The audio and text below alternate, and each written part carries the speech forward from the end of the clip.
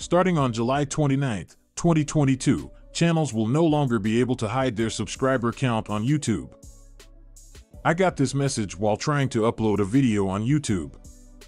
Although YouTube knows what is best for the users, it is ironic that the same company who removed the dislike count on videos to protect content creators from those misusing it as a form of bullying now wants to take away our ability to opt out from publicly displaying how many subscribers we have. I am unhappy with this new update.